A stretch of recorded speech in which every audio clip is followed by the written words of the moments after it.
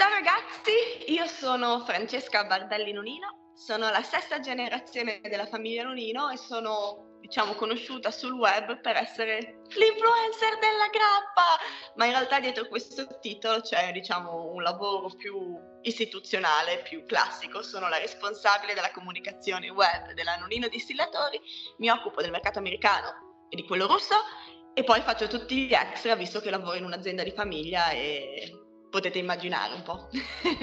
L'azienda dove lavoro e la famiglia di cui faccio parte, la Nonino Distillatori, è una realtà in Friuli dal 1897. Noi quest'anno abbiamo compiuto 126 anni come famiglia dei distillatori e se devo farla proprio breve, breve, breve, breve, il motivo per cui la mia famiglia è nota in tutto il mondo è perché mio nonno e mia nonna il primo dicembre 1973, ormai 50 anni fa, hanno rivoluzionato completamente il modo di produrre e proporre la grappa nel mondo, creando la prima grappa di monovitigno. La cosa che è stata incredibile è che distillare vinaccia di un solo vitigno per la prima volta ha dimostrato al mondo come la grappa non era soltanto uno sgroppo a budella, il distillato in grado di bruciare anche la fame e il freddo, ma poteva diventare l'anima dell'uva nel bicchiere e ha trasformato questo prodotto in un'eccellenza che rappresenta il Made in Italy del mondo. Io credo assolutamente che anche i giovani che hanno l'età per bere si possano appassionare alla grappa perché sono una grandissima sostenitrice della filosofia non esistono prodotti vecchi ma solo narrazioni noiose e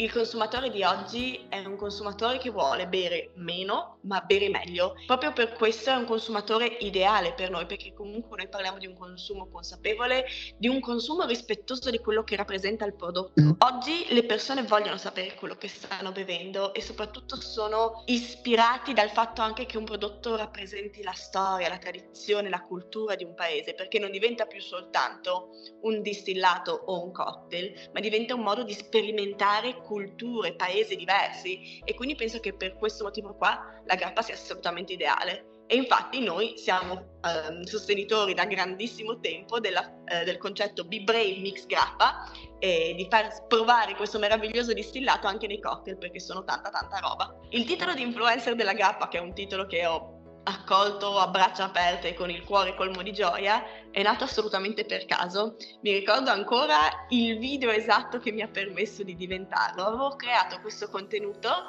eh, ad agosto dal giardino di mia nonna dove c'è un orto dove coltiva pomodori e questi pomodori hanno una particolarità, sono fertilizzati con la vinaccia esausta, ossia con la vinaccia che noi abbiamo distillato per ottenere la nostra grappa e in questo video mostravo questi pomodori che vengono grandi così sono buonissimi, dolcissimi e dicevo che secondo me vengono così belli, così buoni perché prendono tutto l'amore che ne abbiamo messo nel distillare la nostra grappa. Quando ho condiviso questo video sul mio profilo LinkedIn sono stata contattata da un giornalista del Messaggero Veneto, Fabio Poloni, che se vede il video lo ringrazio,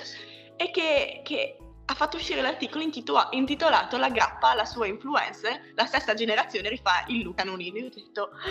oh mio Dio, cioè durante l'intervista mi ha detto sì perché tu ormai sei l'influencer della grappa. Io ho detto, ma veramente? Io? Esiste questa cosa? Esiste questa cosa, lo so io. Però per me è stato, diciamo, la conclusione di un percorso che avevo cominciato ormai quasi sette anni fa. Nel senso che era da tanto tempo che cercavo di trovare il modo giusto di far appassionare le persone anche online di questo meraviglioso distillato. Devo dire che le generazioni precedenti, noi siamo attualmente tre generazioni viventi in azienda, io sono la sesta, però c'è la generazione del nonno, della nonna, di mamma e zie, adesso anch'io che sono la prima della sesta ad essere entrata ed è stato accolto con grandissimo orgoglio. In particolare, devo dire, la persona più entusiasta è stata la nonna che per prendermi in giro mi chiama l'influenza. E poi dice l'influenza della grappa, sì, e poi dice sempre sì perché Francesca tu devi comunicare a tutti la grappa, tu sei l'unica del settore, cioè non è che il vino ha il suo influencer o che ne so, la pasta ha la sua influencer, cioè noi abbiamo l'influencer della grappa in azienda. E si gasa tantissimo, a me fa tanto felice. Per noi la nostra, la nostra storia, la nostra grappa è rappresentata dal lavoro di tante incredibili donne. Beh, noi abbiamo avuto la prima donna mastro distillatore in Italia, la mia bisnonna, Silvia Milocco Nonino, Dopodiché comunque anche mia nonna, diciamo che essere una donna imprenditrice che lavorava nel mondo degli alcolici negli anni 60 sicuramente non è stato facile e poi comunque anche in azienda in azienda noi abbiamo tantissime donne, la zia Betty, la nostra CEO per ridere dice che dovremmo mettere la quota blu, quindi comunque dietro, dietro la grappa c'è il talento, l'impegno di tante incredibili donne che sia sono nella mia famiglia ma che lavorano anche nella nostra azienda. E secondo me da un certo punto di vista questo dà un prodotto diverso perché c'è quel punto di vista, quell'approccio alla distillazione anche che secondo me è femminile. No, la Nonino Distillatore è stata la prima distilleria italiana, il primo brand di grappa, vince il premio di migliore distilleria del mondo 2019, campioni del mondo. Woo, woo. E devo dire che è incredibile pensare che la prima distilleria italiana a vincere un premio di questo tipo sia proprio una distilleria di grappa, quello stesso distillato che veniva bistrattato tantissimo in passato, adesso ha portato questo importantissimo riconoscimento per tutti gli italiani. E devo dire che una cosa che mi ha fatto tanto piacere